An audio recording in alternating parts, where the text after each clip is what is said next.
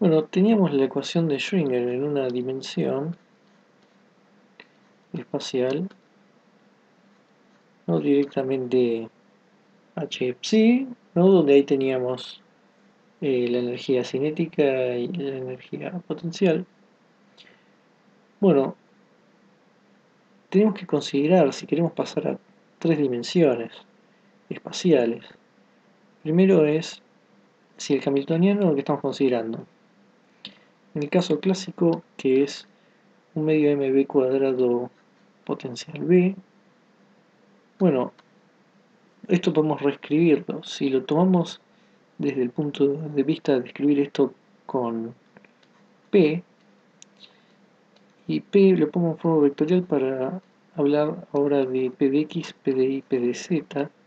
En ese caso esto lo podemos escribir como 1 sobre 2m px cuadrado más pi cuadrado más pz cuadrado más b. Entonces cuando era la forma que teníamos las tres coordenadas de p, en el caso de em, la energía cinética se sumaban, quedaban de esta forma. Pero en cuántica esto es clásico. En cuántica P ya sabemos que se transforma en h barra sobre i y derivar en x, así lo teníamos en una dimensión. Pero en tres dimensiones ahora debemos considerar px va a ser lo mismo, pero ahora pi va a ser derivar en y y pz va a ser derivar justamente en z. Entonces, en ese caso podemos entonces llamar a P H barra I y el operador nabla ¿no? porque el operador nabla no sé, lo que nos, dice es justamente esto pero en forma de operador de esa forma la ecuación de Schrödinger pasa a ser la derivada temporal de psi, eso no cambia. Y acá obtenemos menos h cuadrado 2m, el operador habla al cuadrado, psi más b psi.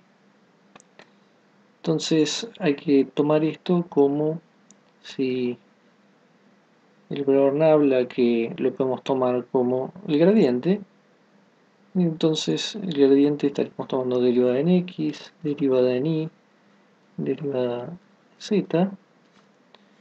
Bueno, pero cuando consideramos nabla al cuadrado, o sea, gradiente por gradiente escalarmente, podemos pensarlo como d de x, d de y, d de z por, bueno, a ver si me entra acá, d de x, d de y y d de z. O sea, que eh, multiplicar escalarmente si uno quiere y va a quedar es derivada segunda en x más derivada segunda en y más este, derivada segunda en z. Eso es exactamente lo que nos va a quedar en eh, la ecuación de Schrödinger. Este operador se lo llama Laplaciano. Se puede escribir entonces de esta forma.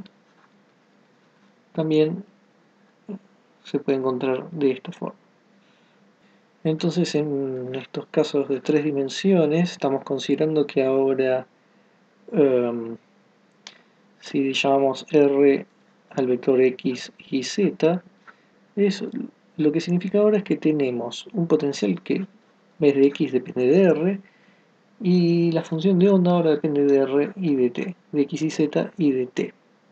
Entonces la probabilidad de encontrar una partícula en un volumen infinitesimal el volumen infinitesimal, vamos a llamarlo de cubo R, que va a ser de X, de Y, de Z. La probabilidad eh, va a venir dada por justamente eh, hacer la integral del psi al cuadrado de cubo R y si lo hacemos obviamente entre menos infinito y más infinito ¿no? igual voy a sacar eso porque parece como si fuera en una sola dimensión y acá estamos en en tres dimensiones. Como voy a poner en R3.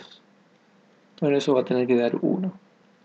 Si el potencial es independiente del tiempo, podríamos llegar a tener entonces estados estacionarios, que la única diferencia es que vamos a tener que considerar el R, o sea, el X y Z, um, donde podemos tomar una parte que solo depende de R y después la parte depende de tiempo va a ser igual que como las consideramos en una sola dimensión.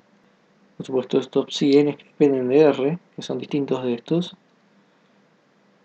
eh, bueno, van a eh, satisfacer la ecuación de Schrödinger independiente en tres dimensiones, la podemos escribir de esta forma,